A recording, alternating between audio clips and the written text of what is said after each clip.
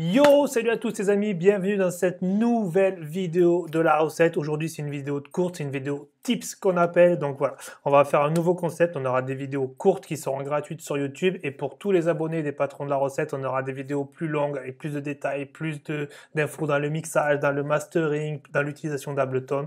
Bref, pour ceux qui veulent suivre et avoir des cours un peu plus améliorés, je te mets le lien ici. C'est mon site internet. Tu prends, tu t'abonnes tous les mois. Tu as des packs, des racks, des, des samples, des, des sons, des VST. Bref, il y a de tout et des cours particuliers un peu plus longs où tu vas encore plus évoluer.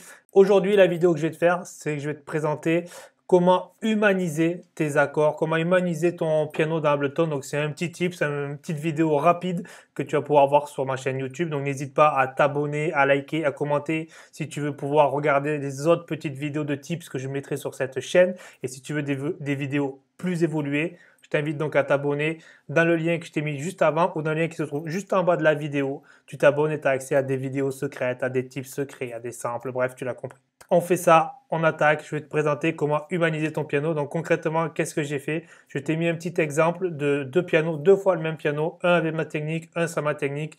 Et tu vas voir que un est très très très très mécanique et l'autre on aura plus la sensation que c'est toi qui l'as joué au piano. D'accord? Donc là j'ai pris un fichier MIDI classique, j'ai pris un VST, je l'ai joué. D'accord? Et du coup, comme je l'ai mis le, le MIDI, il n'évolue pas. C'est très toujours sur la barre, il n'y a pas trop d'écart entre les doigts, etc. C'est très machinal et très peu humain. Donc nous, ce qu'on va faire aujourd'hui, on va essayer d'humaniser l'utilisation d'un fichier MIDI ou humaniser les, MIDI tout simplement. Donc, parti, let's go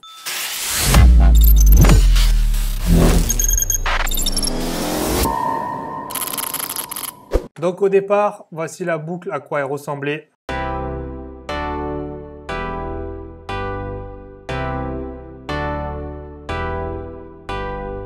OK, et voici maintenant le résultat qu'on va tenter d'obtenir avec le même sample audio, le même instrument. D'accord? On va maintenant humaniser ce piano. Là, on l'a senti, c'est vraiment très tune, tune, tune. OK? Et là, écoute.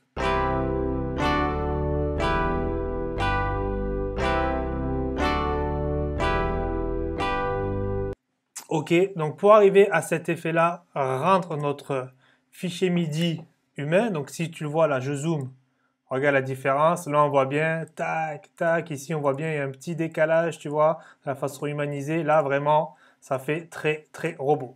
Donc, pour ça, tout simplement, ça va être avec des effets MIDI et pas des audio effects. Donc, je vais venir ici. Je vais choisir dans mes MIDI effects un arpégiator. D'accord Je vais le mettre sur ma piste avec mon instrument. Je le mets juste avant mon instrument. OK Et donc, lui, ce qu'il fait, c'est qu'il nous crée des arpèges. On écoute.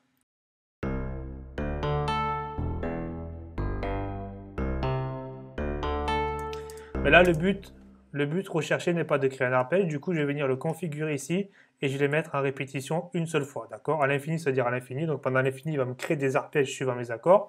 Là, en une fois, il va me le créer une seule fois l'arpège. Je vais le faire une fois et basta. OK? Je vais venir sélectionner cette zone synchronisée au, au BPM. Je vais choisir moi-même de régler le temps de cet arpège.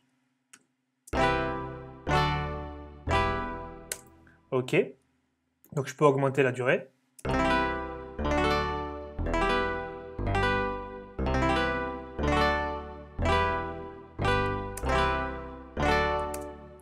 Là, je vais rester à peu près par là pour avoir ce fameux côté humain. Mais du coup, tu vois par rapport à mes notes de base, c'est assez court, c'est-à-dire que ça fait mon arpège et ça s'arrête. Ok, donc je vais vouloir rajouter de la longueur à mes notes. Donc je vais venir ici, note length. Length, ça veut dire longueur en anglais. Je le prends, je le mets après mon arpégiator. Et là, je vais venir régler la longueur. Donc on écoute et on va faire à l'oreille jusqu'à ce que ça nous convienne.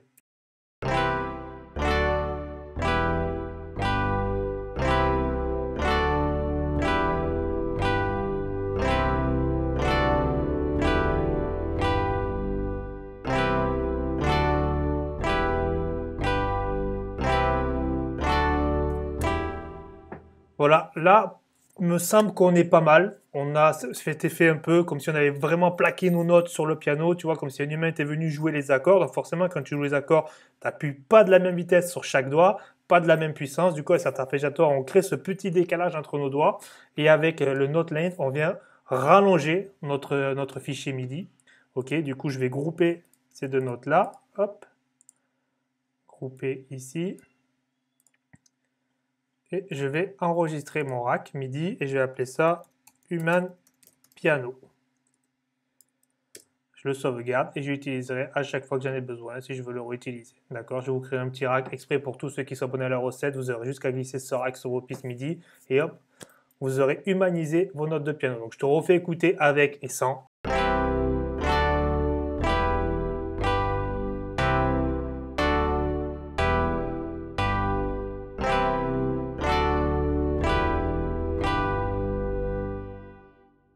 Voilà les amis, c'est la fin de ce petit tips pour humaniser vos pianos, vos synthés, bref ce que vous voulez. Ça se passe uniquement sur les pistes MIDI et ensuite on les transforme en audio pour pouvoir l'utiliser, le mixer, etc.